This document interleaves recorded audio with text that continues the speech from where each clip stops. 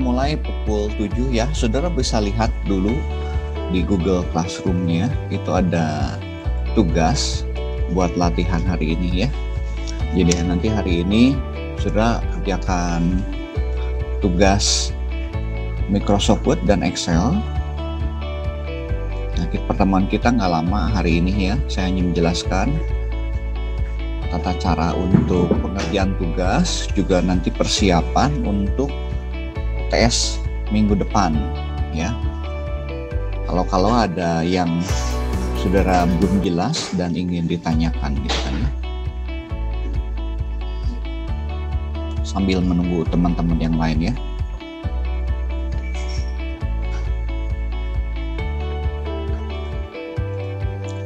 Ya, selamat pagi teman-teman.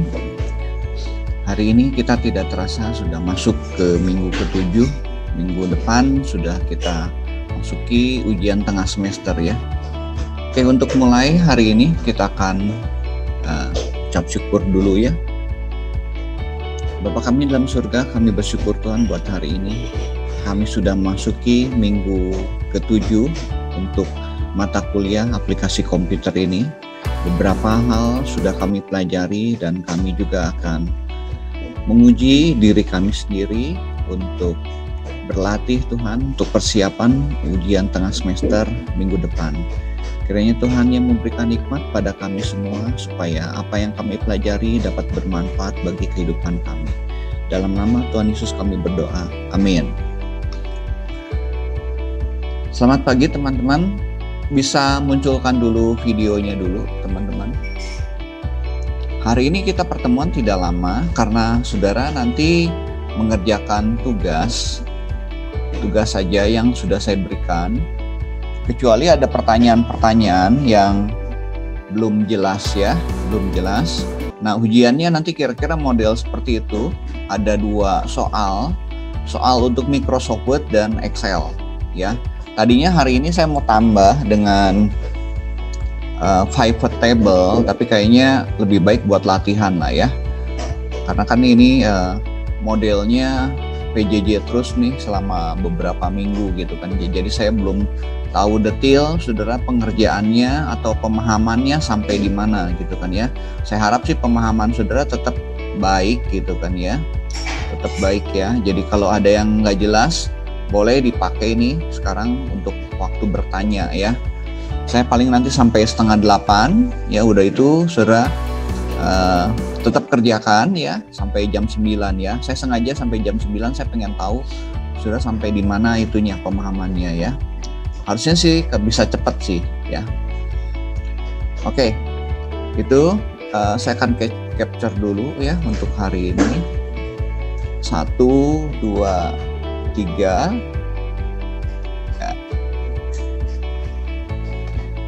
Belum hadir semua ya. Nanti Nathanael tolong di checklist daftar hadirnya. Baik Pak. Ya. Saya akan jelaskan dulu soal yang nomor satu. Sudah bisa kerja lihat nanti di Google Classroom ya. Saya buka dulu nomor satu ya.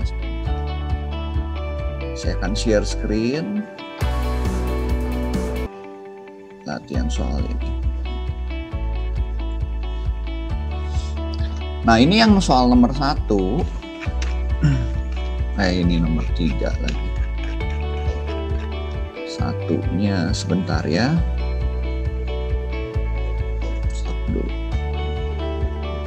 Saya show screennya pakai ini aja yang mainnya.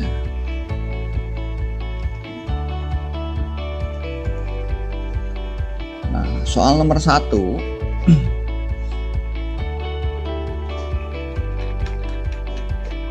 Ini kan ada equation atau rumus ya. Saudara nanti coba ya rumus. Ada pertanyaan nggak yang mengenai rumus ini? Sudah kerjakannya nanti di sini. Kalau sudah buka Microsoft Word, ada bagian equation atau insert equation ya. Equation di sini ya. Nah, polanya saudara bisa lihat di sini. Nanti tinggal lihat aja. Contohnya kan seperti ini, FN gitu kan ya. Nah, ini contoh-contohnya bisa lihat di sini. Ya. Ini kan bentuknya seperti ini ya. Nah, sudah bisa lihat nanti contoh-contoh yang seperti ini ya. Ini kalau bentuknya matrik, ada bentuknya operator, ya bentuknya logaritma dan segala macam. Sini ada sampel-sampelnya. Ya. Jadi tinggal ngikutin polanya aja.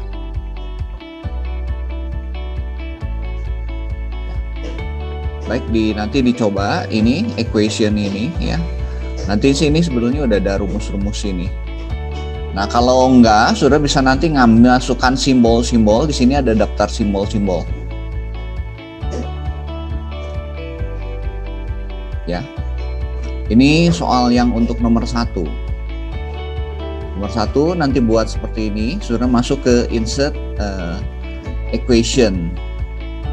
Ya, Misalnya contoh nih seperti ini ya, sudah tinggal nanti buat aja di sini. Ya, misalnya fn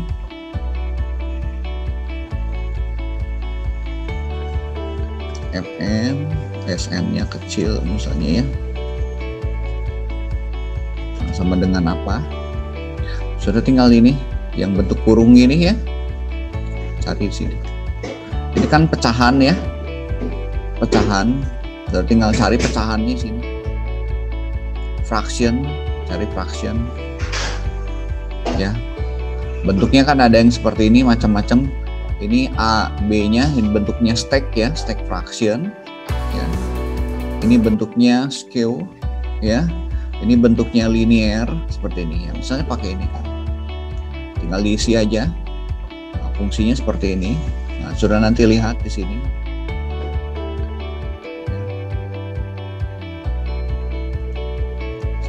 simbolnya. Oh simbolnya nggak sama. Nah yang ini mah nah tinggal nanti cari simbolnya sini ya. Simbol-simbolnya.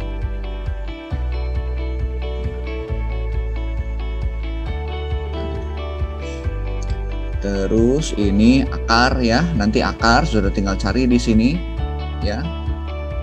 Akar. Masukkan ini. Akarnya berapa? 5 gitu kan kalau 5 tinggal klik aja. Jadi sebetulnya sama seperti di keyboard, tinggal saudara nanti pilih nih ininya, ya bentuknya. Nah, kemudian ini tambah, ya tambah biasa aja. Nah, kemudian ini pecahan lagi kan, ya. Jadi kalau kita lihat, ini pecahan lagi, satu per dua, sudah tinggal cari fraction satu dua gitu. ya. Nah ini kan ada bracketnya ya. Bracket. Saya tinggal kasih bracketnya nih ada bracket. Bracketnya yang mana? Misalnya yang ini kurung siku ya. Nah gitu. Yang ini ada bracket kan? Nah ini sudah bisa tinggal nanti di copy aja. Cut. Ya. Cut. Pindahkan ke dalam sini Nah, gitu. Ya. Udah gitu itu ada koma n lebih besar sama dengan 0.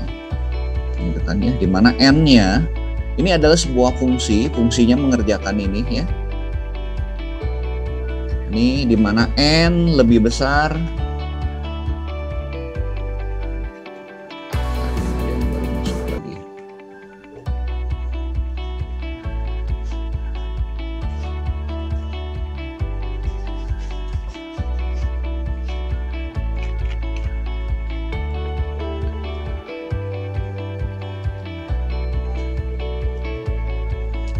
Saya jelaskan sedikit ya ininya. Pak, saya ini co-host. Oh, udah. Oke. Okay. Udah, udah saya, bantu ya, Pak. Ya. Baik, Pak. Okay. Masih, Pak. Yuk. Nah, ini N lebih besar sama dengan, sudah nanti tinggal lihat simbolnya ya. Nah, ini simbol-simbol basic math gitu kan ya. Uh, banyak di sini, sudah nanti bisa ganti-ganti juga nih simbolnya ya. Kalau misalnya ini bentuknya Greek letter gitu kan ya nanti ini bisa diganti. Ya, biasanya ini operation juga tuh. Ini kan banyak nih. Pakai yang ini dia cukup lengkap. Ya, lebih besar sama dengan ya sudah tinggal cari ini. Ini ada macam-macam tuh. Ya. Misalnya ini n lebih besar sama dengan tinggal sudah pilih aja sih. Klik lebih besar sama dengan 0 Nih contohnya ya. Jadi ini sudah diketik biasa aja. Bracket sudah nanti bisa pilih bentuk bracketnya mau seperti apa gitu kan ya. Ini bracketnya kan banyak macamnya. Ya. Nah, tinggal milih ya bentuknya kurung nih ada yang kurungnya ada kurungnya kurung uh, siku ada kurungnya biasa ya, gitu kan ya. Nah, kalau ini kita ubah juga bisa nanti tuh berubah jadi kurung seperti ini ya. Sudah tinggal blok aja ini bracketnya. Nanti bentuknya tuh ini kurung sikunya seperti ini ya. Coba-coba ya dilihat aja. Simple sebetulnya ini pengerjaannya. Ya. Oke saya kembalikan yang ini. Ini kurungnya seperti apa ya? Oh seperti eh kurungnya lihat kita lihat soalnya ya kurungnya siku uh, kurung siku ya tegak ya. Tinggal kita ganti. Nah gitu. Ini soal yang nomor satu. Sudah bikin equation. Nanti tinggal buat lagi di bawahnya juga ya logaritma terus nanti ada seperti ini ya. Kemudian soal yang nomor dua Nah, soal nomor 2 sudah buat dokumen baru ya. Ini kita membuat label save namanya nanti nama filenya selalu kalau mail merge itu ada dua ya. Ada master mail merge-nya sama ada hasil mail merge-nya ya. Nah di soal nomor 2 sudah membuat label ya terdiri dari dua baris dua kolom ukurannya A4 ya A4. Jadi nanti dibagi empat aja seperti ini ya. Satu satu kertas tuh dibagi empat, ke sininya barisnya dua, kolomnya dua juga. Ya, nah, sudah gunakan mail merge. Nanti ini buat label seperti ini. Nah, data-datanya mana? Ya, data-datanya itu ngambil dari data-data di Excel. Ya, kolom-kolom yang ada di Excel. Kita akan lihat dulu Excelnya, ya. Excelnya.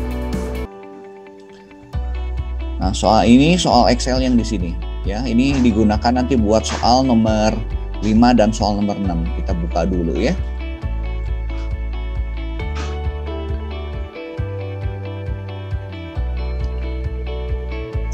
Yang sewa. Nah, ini sewa. Nih.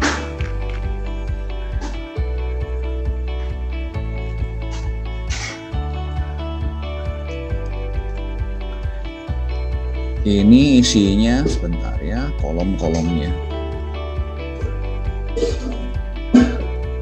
Nah, kolom-kolom ini sudah isi aja ini. Tanggal ini ya. E, nama ininya. Ya, sudah nanti buat ininya, formatnya. Bentuknya ini label ya, label aja. Oke. Kayak mail message ini udah biasa lah.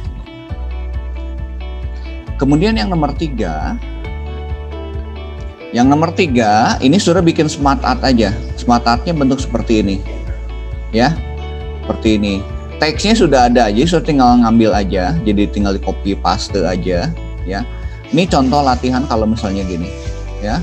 Sudah copy, sudah nanti buat di Word kan ini. Saya buat baru lagi ya dokumennya. Sudah masuk, tinggal insert, ya insert smart art gitu.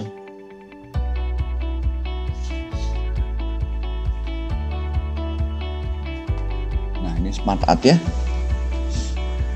Nah cari bentuknya yang mirip seperti itu tadi. Bentuknya list seperti ini. Ya.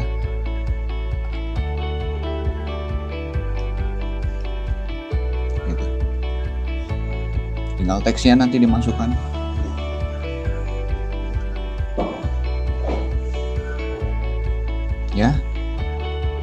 ini udah jadi nih saya perkecil ya.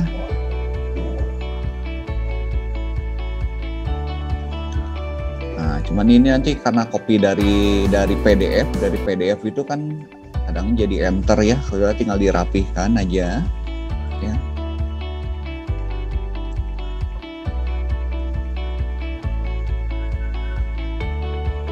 Ini nggak butuh ya, nah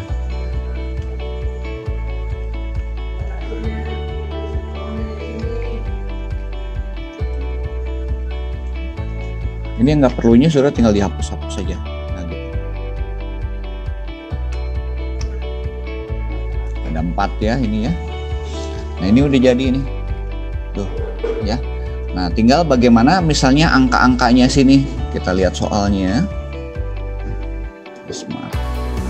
Lihat soalnya. Ini ada angka nih. Ya.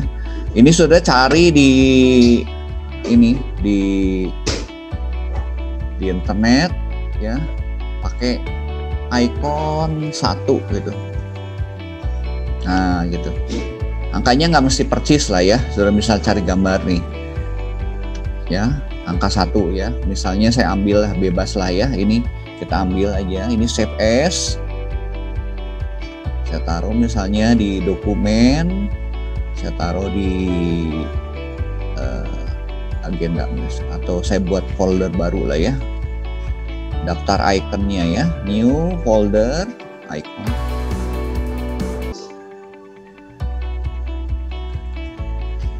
Angka satu simpan ya. Saya cari lagi icon 2 ya. save as 2 saya cari lagi icon 3 merah mau apa nggak apa-apa lah ini ya. Yang penting saudara nggak bentuk nggak mesti percis lah ya. Yang penting saudara tahu cara pengerjaannya ya kalau ada bentuk seperti itu. Empat gitu kan ya. Empatnya ya bolehlah warna ini lah ya. Empat. Oke nah sekarang tinggal dimasukkan di dalam sini. Angka satu saudara tinggal double klik aja ya ininya. Ya Nah, insert sebetulnya di sini bisa cari kita cari online langsung juga boleh ya kalau sudah terhubung ke internet ya. Tapi kalau karena tadi saya sudah nyimpen ya tinggal ngambil ya. Tadi saya simpan di dokumen ada icon. Satu. Masuk ya. Compile dua. Double klik ya. Ini saya gunakan double klik ya. Nah, tiga.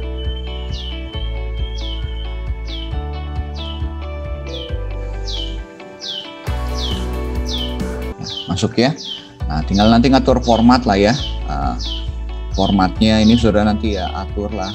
Uh, atur dulu ininya, change color mah gampang lah, sudah tinggal ngubah-ngubah aja. Ya, oke. Okay. Nah, bentuknya seperti tadi kiri kanan kiri kanan ya. Nah, ini tinggal milih aja lah ya milih. Ini simple sebetulnya. Oke. Okay. Itu yang nomor dua. Uh, nomor ini nomor tiga Esma. Bentar yang ini ya. Ini juga sama nih bentuknya ya. Uh, teksnya udah ada nih. Ini latihan sudah nanti. Nanti di PowerPoint saya bahas juga seperti ini ya. Tetapi saya ini pakai dulu di Microsoft Word-nya ya. Di selain gitu equation uh, mikro uh, belajar buat ini smart art ya. Kemudian tadi mail merge ya. Oke saya kembali sekarang ke soal Excel sekarang. Ya. nah di soal Excel ini ada petunjuknya ya. Ini ada penjelasannya. Ya. Nanti tinggal klik aja ini view ini ini contoh soalnya ya. Nah, ini soalnya nomor satu. Ada soal nomor satu. Sudah mengerjakan ini lama sewa. Ya, saya punya nama PT ini penghasilan sewa komputer. Nah ini digunakan file ini digunakan juga buat mail merge ya, mail merge yang tadi ya. Karena ada jenis komputer, ada jumlah label segala macamnya sudah bikin label, nanti ada 18 buah label. Satu halamannya ada isinya 4 ya. dua ke kanan cross, uh, dua ke bawah downnya itu ya. Nah ini di soal Excel ini sudah mengerjakan lama sewa. Rumusnya sudah tahu ya. Ini ini saya beri uh, sudah tinggal geser nih ya. Ini adalah lama sewanya. Tanggal kembali dikurangi tanggal sewa. Ya. Kemudian biaya sewa per hari ini berdasarkan tipe komputer. Ya. Soal nomor 2, tipe komputer. Tipe komputernya ada di sini. Berarti sudah harus gunakan lookup. Ini kan bentuknya ini vertikal, sudah gunakan vertikal lookup. Ya. Kemudian ini uh, ada biaya sewa, tinggal dikalikan aja ya. Lama sewa kali ininya. Ini semua keterangannya ada di sini, sudah tinggal geser aja. Ini ngerjain ini paling saya 5 menit udah selesai lah ya. Baik, saya lanjut ke soal nomor 2. Nah, soal nomor 2 ini menggunakan lookup juga, VLOOKUP ya, karena bentuknya vertikal nih. Ya. Ini ada kode-kode, ini ada status kawin dan tidak kawin. Ini ada tanggungan, ada ini PTKP, pendapatan tidak kena pajak. Ya, pendapatan eh, tidak kena pajak ya per bulan. Pendapatan tidak kena pajak. Jadi nanti ada pendapatan yang dikenakan pajak ya. Jadi kalau seseorang misalnya gajinya uh, sekian lah, misalnya eh, 3 juta yang tidak kena pajaknya 2 juta. Nah, yang dikenakan pajaknya yang satu juta. Nah, yang 2 juta yang tidak kena pajak itu sebut dengan PTKP ya, PTKP per bulan ya. Misalnya. Kalau ini misalnya 200 ribu nih yang tidak kena pajak. Nah, sini ada latihan-latihannya ya. Ini ada ini mirip lah seperti latihan di praktikum. Kamu aku perih. Ya. Ini ada gaji kotor, sudah tinggal ngitung jumlahnya gaji pokok tambah tunjangan ya. Nah, asuransi tenaga kerja ya. Asuransi tenaga kerjanya ini berapa ya? Sebentar ya. Ini ada keterangan yang hilang ya kayaknya. Oke, nanti saya uh, lihat dulu ini asuransi tenaga kerjanya berapa ya. Karena di sini nggak ada keterangan asuransi tenaga kerjanya. Berapa Kasih persen? persen aja gitu Pak, langsung? Ya, boleh dikasih persen ya. Asuransi tenaga kerja misalnya dua persen gitu kan ya. Ini saya tulis ya, nanti sudah tambahkan dua persen. Biaya jabatan biaya jabatannya biaya jabatan 5% ya nah ini PTKP per bulan yang ini ya saya kasih warna beda aja warna kuning ini ya. Nah sudah ini ngambil dari sini PTKP nya ya tergantung dia statusnya apa ya. Nah kan ini ada status nih ya statusnya. Nah, statusnya berarti katakanlah dia T0 tidak kawin ya, tidak kawin 0. Berarti ngambil ini kan? Nah, berarti PTKP per bulannya ini. Jangan ditulis ya, harus pakai rumus. Ya. Nah, ini rumusnya pakai uh, VLOOKUP ya karena vertikal. Ya. Oke, K3 juga sama seperti itu ya yang ini. Kemudian PK per bulan, per bulan per bulan per tahunnya juga sama ya, ngambil dari sana. Nah, pajaknya berapa? Nah, pajak ini adalah rumusnya gaji gaji kotor ditambah eh dikurangi ini biaya jabatan ya.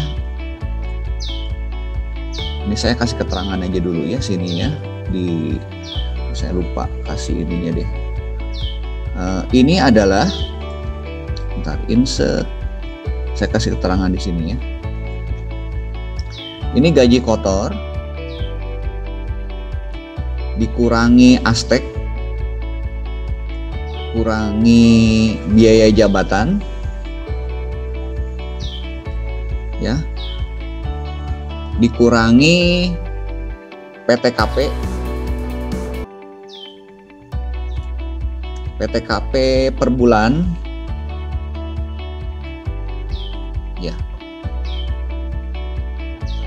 dikali misalnya dikali itunya dikali 10% misalnya ya ini 10% nah gitu.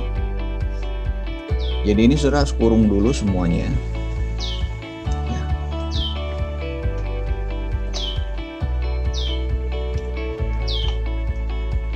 nah, saya nanti kasih keterangan di sini ya ininya untuk gaji pokoknya ya gaji pokoknya. Jadi ini ini dikurangi ini kurangi PTKP per bulan ya. Oh ini uh, sebentar ya. Nah yang PKP per bulan tuh yang kena pajak ya yang kena pajak. Yang kena pajak tuh ini ini sebetulnya ini nih. Ini adalah PKP ya.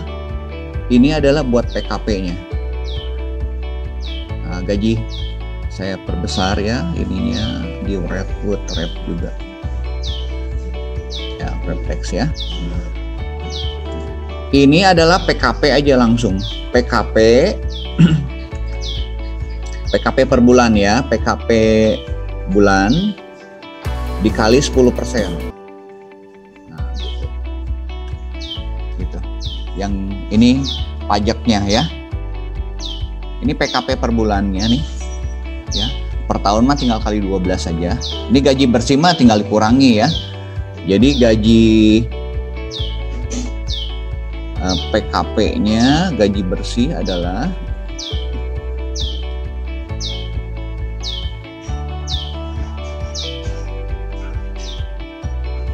gaji kotornya sebentar ini pendapatan yang kena pajak ya udah berarti gaji kotor ditambah ini. Ya. Ini adalah gaji kotor.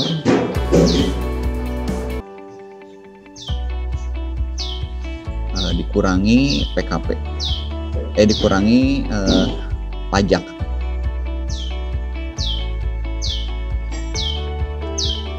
Saya buat wood wrap ya. Nah, ini rumusnya seperti ini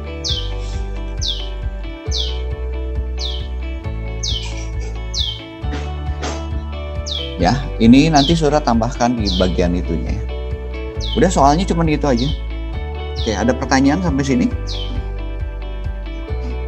Ini sudah boleh di capture nih soalnya ini yang, yang bagian sininya. Saya capture nanti saya bagikan juga di soalnya.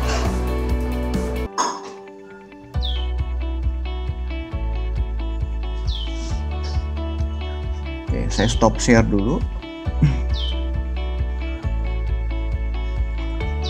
Ada yang ditanyakan sampai sini?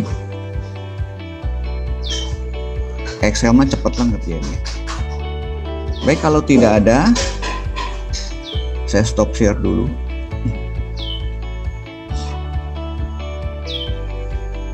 Nanti saya tambahkan keterangan di itunya ya. Buat keterangan yang tadi. Buat yang perhitungan gaji tadi. Ada yang tanyakan teman-teman? Ada yang belum jelas mengenai soalnya?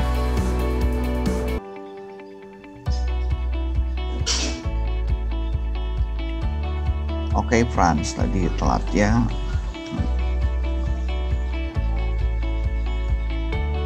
Keterangannya saya terus di chat aja ya, supaya cepet ya. Ini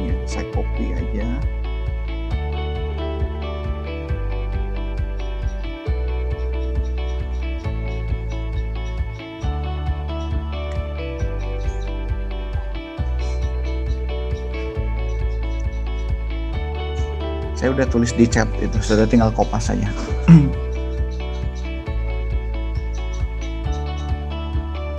Bingung nggak itunya?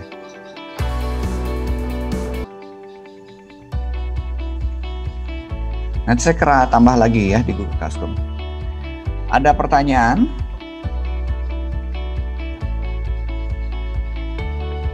Oke, nanti kita ketemu berarti di UTS-nya ya. UTS-nya pengerjaannya mirip seperti ini ya, nanti sesuai dengan jamnya. Jadwalnya udah tahu untuk tes.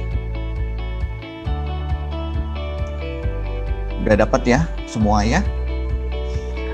Oke, kalau tidak ada kita akan akhiri. Selamat bekerja. Kalau ada pertanyaan-pertanyaan boleh nanti sudah sampaikan di chat ya. Oke, kita Pak, boleh nanya sekarang bentar nggak Pak? boleh silakan. Kalau untuk eh, yang soal Word yang nomor 2 kan kita diambil. Nah, si nomor sama nama pesertanya kita pakai yang beberapa minggu lalu itu boleh dong Pak? Eh, nomor peserta yang tadi aja yang PT tadi aja Oh, oke siap di Pak. PT itu ada ya nomor urut kan sudah ada di situ jadi sudah nggak usah buat baru lagi Oke Pak, makasih Pak. Jadwal UTS saya belum di eh, mas belum ada di itu pak di f.it.maret.edu oh saya sih Belum. udah dapat sih. Kayaknya dalam minggu ini berarti kayaknya minggu ini.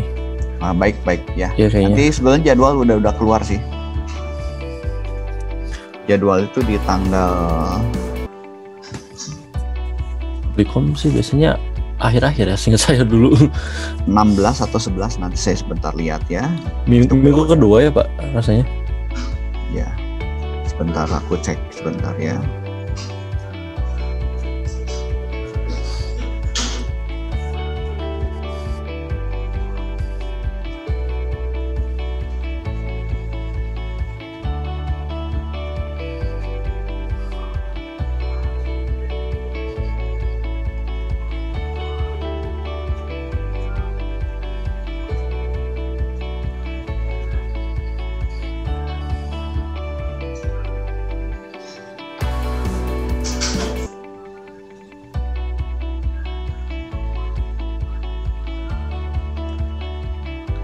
tanggal 16 ya jam 8 sampai jam 10 ujiannya.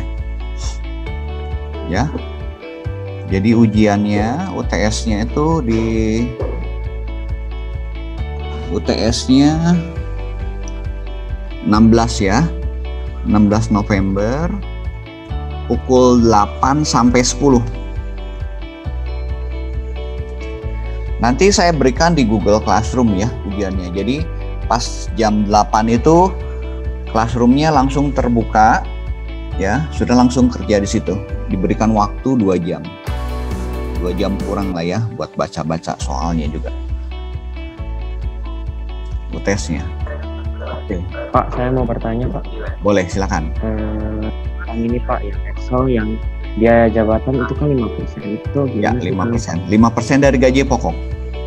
Oh, dari gaji pokok aja, Ya, Pak. dari gaji pokok.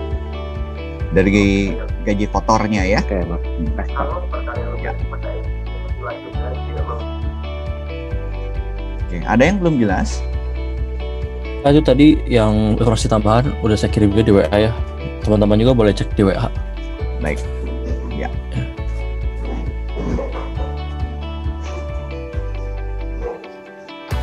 Ada lagi kalau tidak ada kita akhiri ya hari ini ya.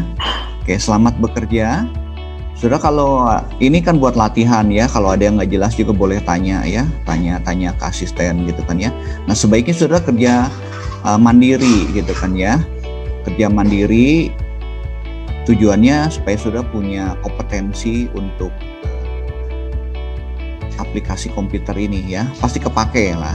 Ke depan pasti kepake. Jadi kalau saudara merasa ah, nih saya belum eh, bisa nih bagian ini boleh tanya ke teman ya tapi bukan minta jawabannya gitu kan ya. Nah, belajar pakai waktu untuk belajar sebelum kita ngadapin UTS ya. Eh, Nathanael bisa berdoa buat kita mengucap syukur buat hari ini. Baik pak. Ya. yuk. Eh, mari kita berdoa saya akan pimpin dalam iman Kristen. Ya. Tuhan terima kasih untuk pagi ini Tuhan kalau kami boleh bertemu kembali untuk kelas pengenal aplikasi komputer bela segala persiapan yang telah kami pelajari. Untuk latihan tes ini Tuhan boleh kami serap boleh kami terima untuk kami aplikasikan dalam pengerjaan latihan tes ini Tuhan. Bimbing kami Tuhan, pimpin kami untuk mengerjakan latihan tes ini Tuhan sehingga kami dapat mampu mengerjakan dengan baik. Eh, Terima kasih Tuhan, berkati juga aktivitas kami selanjutnya sampai terus sampai malam nanti Tuhan. Terima kasih Tuhan, kita syukur semuanya dalam Tuhan Yesus kami berdoa. Amin.